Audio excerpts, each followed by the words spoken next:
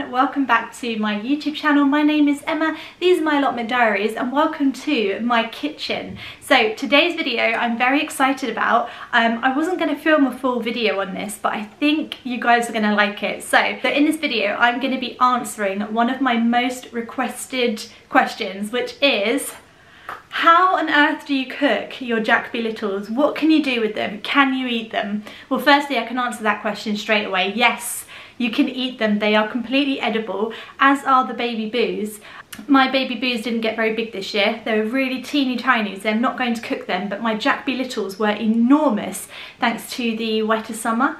So I'm going to show you two ways that you can cook your Jack Be Little pumpkins in this video. One's going to be savoury and one is going to be sweet. So if you're interested in finding out how to eat these delicious pumpkins, keep watching.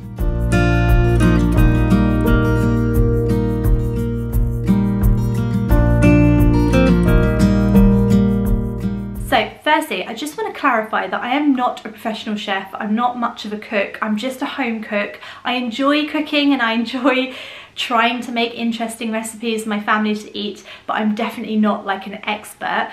Um, a lot of the recipe ideas that I get are actually from other vloggers on YouTube or from magazines. And that brings me into talking about Readly. So you've heard me talk about Readly a few times. Readly is a magazine subscription service you subscribe and then you get access to thousands and thousands of different magazines, loads of different categories, there's tons of inspiration there. Now the good thing about this time of year in particular is that a lot of the gardening magazines actually have recipes within their magazines as well of what you can do with all the produce that you've grown over the year, which is absolutely fantastic. But I do like looking at the cooking magazines as well and with Readly of course you get access to absolutely hundreds of them, honestly. There's so much variety on there. One of the features of the Readly app that I think is just amazing is the fact that you can bookmark certain articles. So when you've gone through a whole magazine with different recipes and you found the ones that you like, you can just bookmark those articles and it saves it for you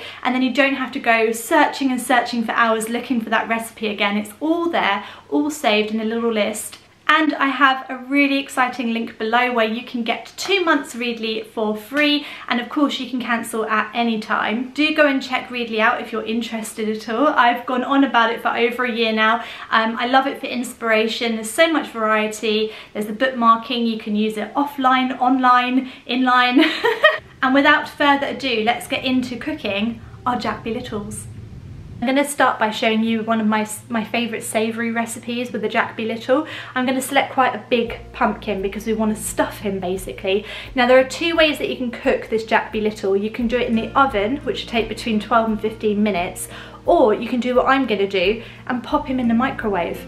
It's a little bit of a cheat and it doesn't taste, it's kind of like a baked potato. You know how you can do it in the microwave or you can do it in the oven? Well, it's the same with the Jack Be Littles. So it might taste better if you roast it, but if you're short on time, stick it in the microwave. It's the same thing. Right, welcome to my dirty kitchen. We're gonna prick him. It's the same way that you would do it with a potato. And I think it is pretty much to stop him exploding, which we really, really don't want in the middle for about three and a half minutes. Please don't explode. So while that is cooking in the microwave and hopefully not exploding, I'm gonna chop up some mushrooms and some bacon.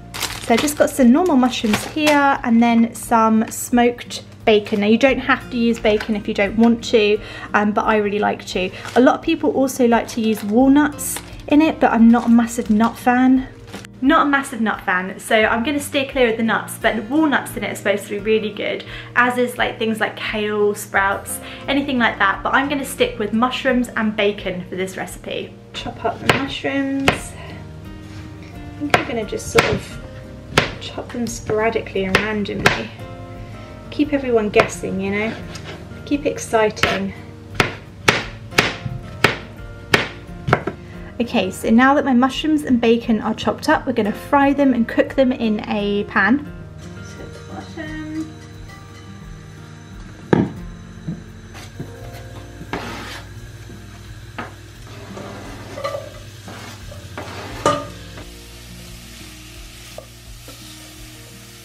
Okay, so I've just cooked in the microwave some basmati rice. You can use any rice. A lot of people use wild rice, um, but I'm not massively keen on it. And I'm just going to use a little bit of this just to add it, add a little bit more into the pumpkin basically, make it a bit more filling. That's the whole thing. Let's mix that in. Oh, he's a little bit hot. He's a little bit hot, but he's nice and squidgy now, which is what we want. Hopefully you can see this. Sorry guys, my lighting is not very good in here. Um, we're going to chop his head off, same way that you would if you were like carving a pumpkin. It's actually so much easier to get the head off when he's cooked. Right, out he comes, and we'll just chop that bit off there. Just careful just to get the seeds. I'm to put them in a bowl. And then what we can do is we can roast those seeds later on. Now what we do is we get our mixture from the hob. That one I think. And we spoon them in. There it is.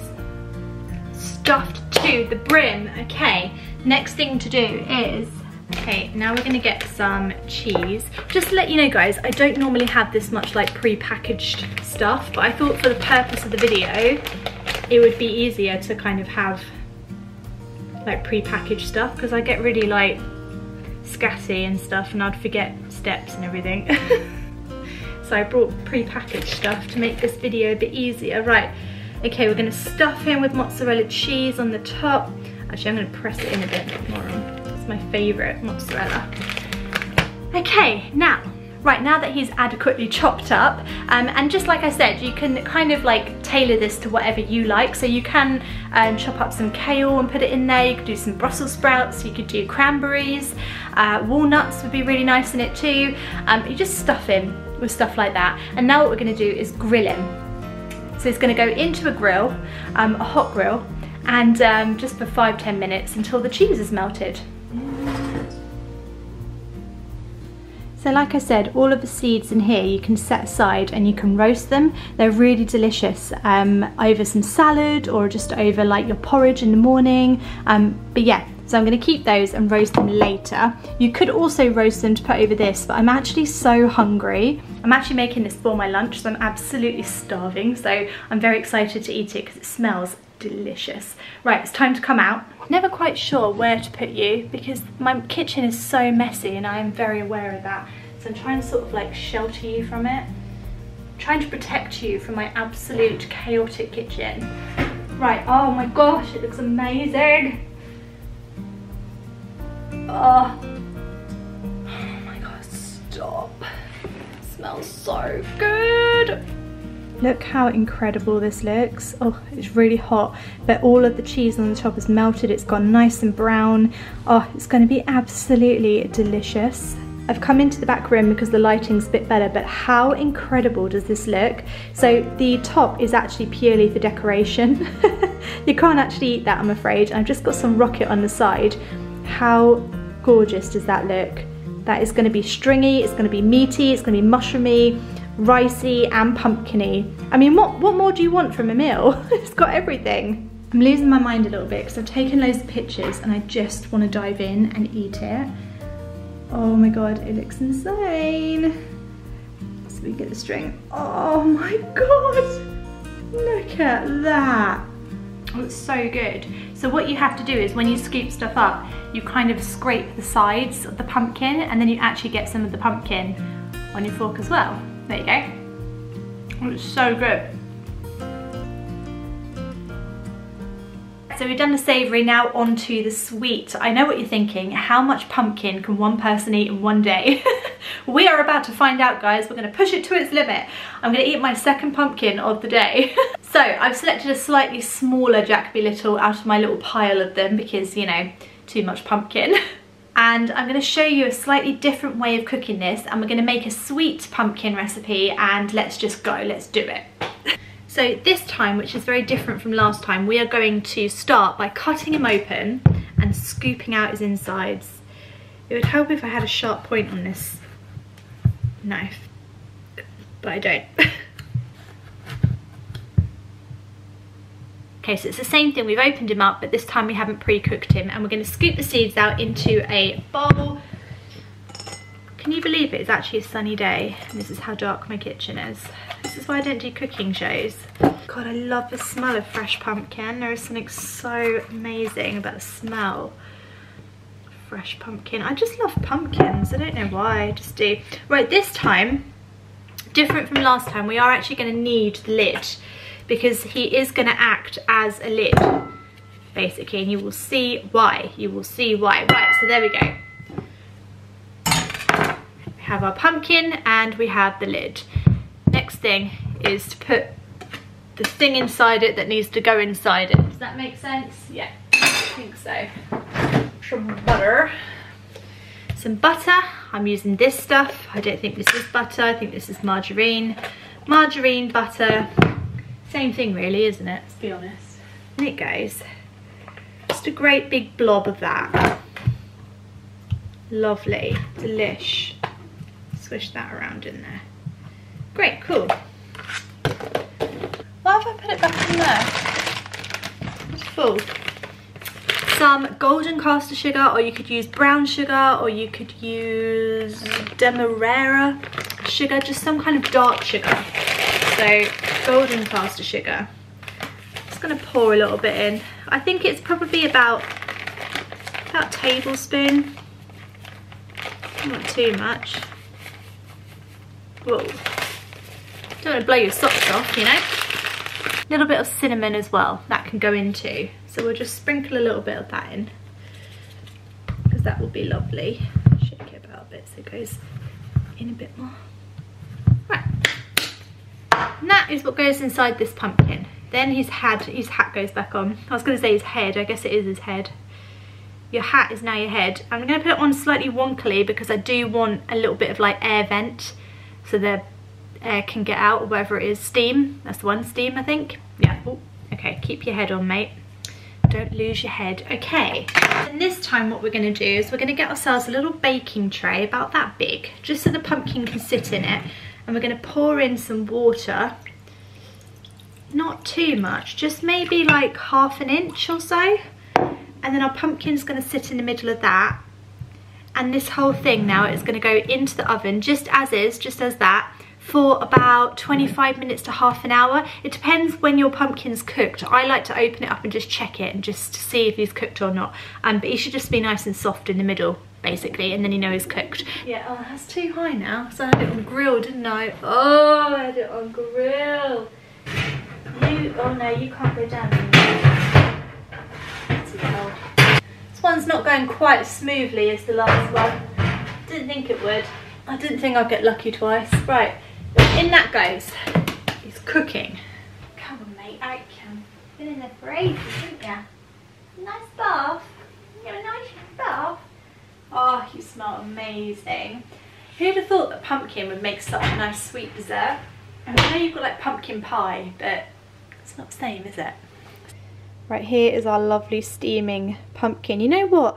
I've seen people do this with apples and they kind of like core the apple out and do that but I don't I just don't know like the practicalities of how that would work um, okay so let's transfer him to a bowl oh oh oh my god.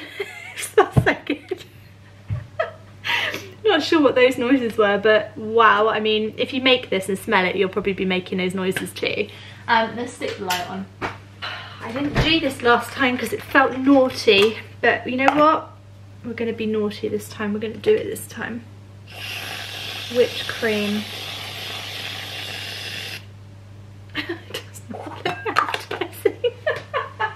wow, look at that. Look at that bad boy.